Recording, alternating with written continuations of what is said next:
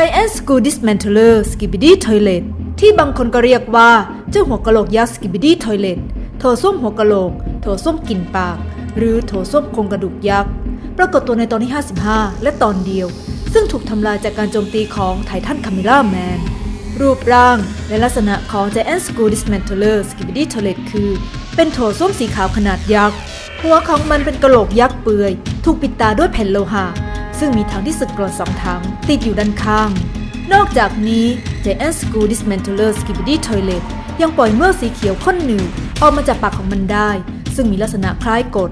แม้ว่า Giant School Dismantler Skibidi Toilet จะอยู่แค่ตอนเดียว แต่ก็มีความสามารถในการทะเลพอร์ตในการปรากฏตัวที่แนวหน้าของสนามรบ ส่วนเมือกข้นสีเขียวคล้ายกดนี้ มีความอันตรายอย่างสูง มันสามารถกัดกร่อนและทำลาย Cameraman ที่อยู่ใกล้เคียงได้ทั้งหมด เช่นเดียวกับรถถังที่ใช้โดยกองทัพ Cameraman ก็ถูกทำลายเช่นเดียวกัน Giant Blind Flamethrower หรือโถส้วมเครื่องพ่นไฟตาบอดขนาดยักษ์ เปิดตัวครั้งแรกในตอนที่ 50 ของซีรีส์ Skibidi Toilet Skibidi Toilet ที่ไม่เหมือนใครนี้ มีความสามารถในการพ่นไฟออกจากปากของมัน ซึ่งทำงานคล้ายกับเครื่องพ่นไฟจึงเป็นที่มาของชื่อนี้ อย่างไรก็ตามการพ่นไฟนี้พิสูจน์แล้วว่าใช้ไม่ได้กับ Titan Cameraman รุ่นอัปเกรด Giant Blind Flamethrower Skibidi Toilet มีลักษณะพิเศษคือ มีฝาครอบป้องกันดวงตา และมีล้อขุดสองอันที่ด้านข้าง คล้ายกับการออกแบบที่เห็นใน Skibidi Toilet จากตอนที่ 46 สันนิษฐานว่า Skibidi Toilet ตัวนี้อาจถูกสร้างขึ้นโดยนักวิทยาศาสตร์ Scientist Skibidi Toilet ในการปรากฏตัวครั้งแรกในตอนที่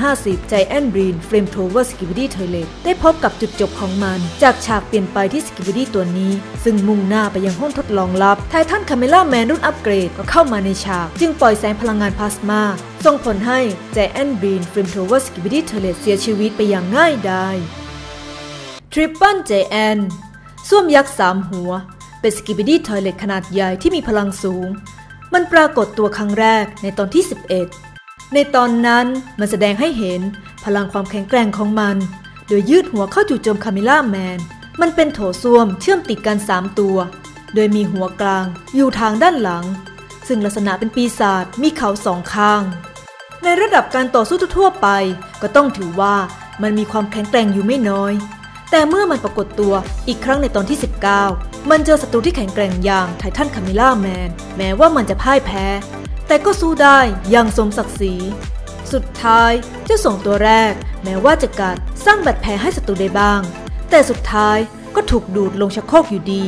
ส่วนตัวหัวปีศาจด้านหลังก็ถูกดึง หัวออกมา ยิงลำแสงใส่เผาไหม้จนตาย Giant Militant หรือ Camouflage 2.0 จ้าตัวนี้ปรากฏในตอนที่ 32 บางแหล่งข้อมูลบอกว่า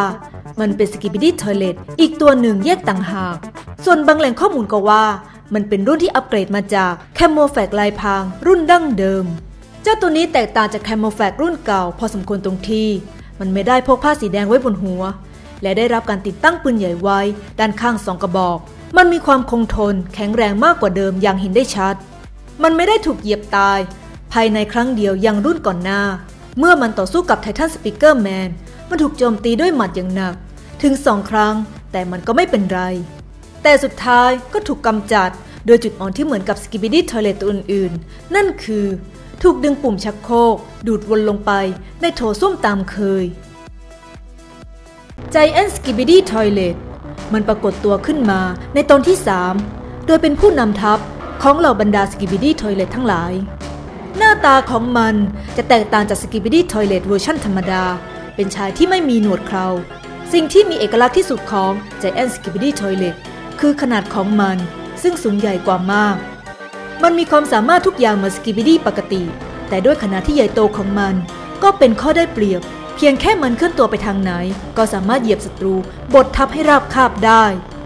ร่างกายของมันยังมีความคงทนทำลายได้ยาก แต่ข้อเสียของมันก็คือ มันค่อนข้างเคลื่อนที่ได้ช้า วิธีการกำจัดมันคือ ต้องแอบปีนไปข้างหลัง เพื่อกดปุ่มโถชักโครกให้ได้ Giant Rocket Skibidi Toilet โถส้วมระเบิดพรีชีพ มันเป็นจอมทะลุทะลวงที่บ้าคลั่งไม่กลัวตาย เป็นสกิบิดี้ขนาดใหญ่ที่ได้รับการอัปเดต ให้มีร่างกายที่แข็งแกร่งมากยิ่งขึ้น โดยได้รับการติดตั้งระเบิดขนาดใหญ่เอาไว้กับตัว พร้อมด้วยเจ็ตแพ็กไอพ่นสำหรับบินเอาไว้ด้านหลังข้างละ 3 ตัว ในตอนที่ 14 มันเปิดฉากการต่อสู้ ด้วยการบุกทำลายบทขยี้ทุกสิ่งทุกอย่างที่ขวางหน้า ไม่สนแม้กระทั่งพวกเดียวกันเอง มันก็ทำลายจนหมดสิ่ง ในตอนที่ 20 มันก็ได้เข้าร่วมกองทัพอีกครั้ง และในคราวนี้มันได้ใช้ความสามารถทางด้านการบินของมัน ลอยพุ่งตรง ด้วยความเร็วสูงเข้าชนกับไททันคาเมล่าแมน มันสละชีวิตตัวเองพร้อมด้วยระเบิดพลีชีพ ซึ่งแม้ว่าจะไม่ได้ทำให้ Titan Cameraman ตาย แต่ก็สร้างความเสียหายได้อยู่พอสมควร Titan TV Man เป็น TV Man รุ่นใหญ่สุดณขณะนี้ มีส่วนสูงเฉลี่ยอยู่ที่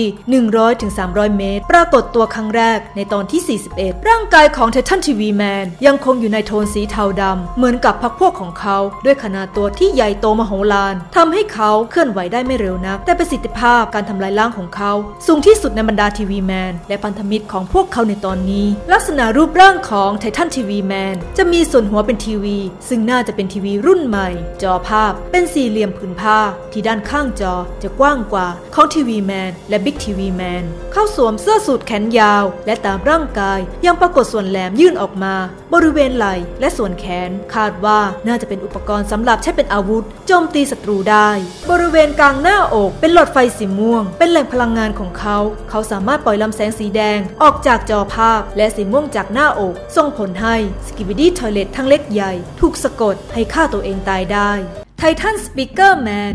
เป็น Speakerman ที่ใหญ่และมีพลังมากที่สุด ปรากฏตัวครั้งแรกในตอนที่ 26 เป็นกำลังสำคัญในการรบของ Speakerman อย่างมาก เพราะเขามีขนาดตัวที่ใหญ่มหึมา มีความสูงมากกว่าตึก 20 ชั้น นอกจากนั้นยังมีการติดตั้งลำโพงขนาดใหญ่หลายอัน และปืนทำลายล้างไว้ที่แขนซ้ายอีกด้วย Titan Speakerman ยังมาพร้อมกับไอพ่นที่ติดอยู่ด้านหลัง จึงทำให้ สามารถบินต่อสู้กับศัตรูบนอากาศได้ ลักษณะที่โดดเด่นของเขาคือสวมแจ็คเก็ตสีแดงกับกางเกงสีดำและมีเกณฑ์พลังงานเครื่องปฏิกรณ์นิวเคลียร์ที่เป็นสีแดงอยู่กลางหน้าอก Titan Speaker Man มีความสามารถในการต่อสู้ที่เหลือเชื่อ โดยสามารถเอาชนะ Skibidi Toilet ได้ทุกตัว แต่จุดอ่อนอยู่ที่เขาอาจถูกปรสิต Skibidi Toilet ล้างสมอง กลายเป็นอาวุธให้ฝั่งตรงข้าม กลับมาโจมตีพวกเดียวกันเองได้ Giant Speaker Man หรือ Large Speaker Man หัวลำโพงยักษ์ ส่วนสูงเฉลี่ยอยู่ที่ประมาณ 9.5 เมตร ปรากฏตัวครั้งแรกในตอน 24 ซึ่งรูปร่างจะเห็นว่าสูงและใหญ่โตกว่า Speaker Man อย่างเห็นได้ชัด ลักษณะรูปร่างส่วนหัว เป็นลำโพงแนวตั้ง เขาจะไม่ใส่สูทใส่แต่เสื้อเชิ้ตคอปกสีขาวแขนยาว พร้อมด้วยเนคไทสีแดง และสวมถุงมือกับกางเกงสีดำขายาว มีแขนที่ยาวมากกว่าสัดส่วนมนุษย์ปกติอย่างเห็นได้ชัด Giant Speaker Man มีความสามารถในการใช้คลื่นเสียง กระแทกศัตรูให้ถอยกลับ รูปร่างที่สูงใหญ่และมีความทนทานทำให้พวกเขาได้เปรียบในการต่อสู้ประชิดตัว Titan Cameraman เป็นอาวุธลับที่ยิ่งใหญ่ที่สุดของเหล่า Cameraman มีส่วนสูงเฉลี่ยอยู่ที่ 50 เมตร สร้างขึ้นเพื่อใช้ต่อสู้กับ G-Man Skibidi Toilet รูปแบบการโจมตี หลากหลาย เชี่ยวชาญด้านการต่อสู้ เขาสามารถปล่อยพลังกระสุนออกจากปลายนิ้วมือได้ นอกจากนั้นยังสามารถปล่อยพลังงานเครื่องปฏิกรณ์นิวเคลียร์ออกจากทางหน้าอกได้อีกด้วย แม้ว่ามีขนาดใหญ่ยักษ์เพียงใด แต่เขาก็ยังคล่องแคล่วว่องไว แถมยังติดไอพ่นที่สามารถบินไปไหนต่อไหนได้ทำให้การต่อสู้ของเขาค่อนข้างได้เปรียบ Titan Cameraman ถือได้ว่าเป็นกำลังสำคัญที่สุดของทาง Cameraman มีพลังทำลายล้างศัตรูอย่างมหาศาล และการปรากฏตัวแต่ละครั้งก็มักจะได้รับการอัปเกรด ให้มีความสามารถเพิ่มมากขึ้น